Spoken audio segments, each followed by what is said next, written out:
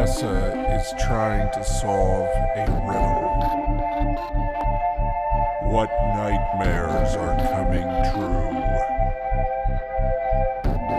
There are monsters hiding in the dark.